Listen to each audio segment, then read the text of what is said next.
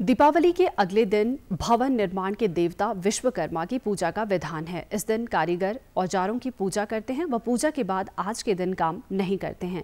निर्माण, सृजन, शिल्प एवं वास्तुकला के देवता विश्वकर्मा पूजन दिवस पर सोलन में भी पूजा अर्चना की गई, जिसमें सोलन के कारीगरों ने भाग लिया। कारीगरों ने अपने औजारों की पूजा अर्चना करने के साथ उनकी आरती उतारी।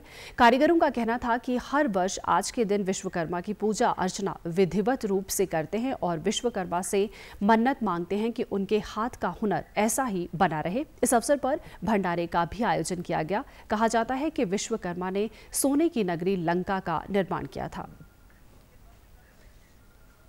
हम यहाँ देवघाट में जो है मैकेनिकल का काम करते हैं। आज विश्वकर्मा डे है, जो हमारे विश्वकर्मा भगवान है, वो हमारे शिल्पकार के देवता हैं। और आज के दिन अपने जो हमारे जो ये टूल है हम इसकी पूजा करते हैं। क्योंकि इसी से जो है हमारी रोजी रोटी चलती है। पूरा साल हम इसी से करते हैं और इसी के आधार पर जो है हमारा कार्य चलता है और यही यही जो औज़ार है इसी से जो है हमारी पूरी रोजी रोटी चलती है। मैं मैकेनिक हूँ जूंघाट सोलन में और जी हमने आज टूलों को साफ़ सफ़ाई करके पूजा की है और इनकी वजह से हमारा रोज़गार चलता है सारा। आज हमने इसलिए टूल टाल अपने पूजा करके विश्वकर्मा जी को पूजा करके विश्वकर्मा जी को हम इसलिए मानते हैं कि ये फूलों के देवता हैं, इसीलिए हम विश्वकर्मा जी को पूछते हैं।